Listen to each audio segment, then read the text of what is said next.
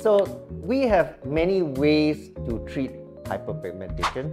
We've got creams, and we've got over-the-counter creams and doctor creams.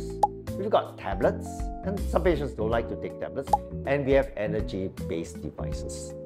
And I tell all my patients, if creams work for you, stay with creams.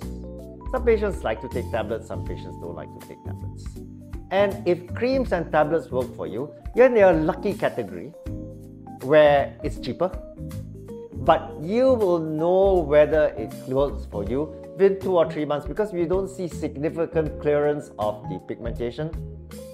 Then it's not going to work for you. You have no choice but to use energy-based devices if you want to lighten the pigmentation. Now, all of us doctors use picosecond lasers to break the pigmentation into smaller pieces for your body to remove it through the normal waste removal process. So imagine you have a statue in the garden. Take a chisel and a hammer, break it up into smaller pieces because that statue is too heavy for you to remove, and you can slowly get rid of it.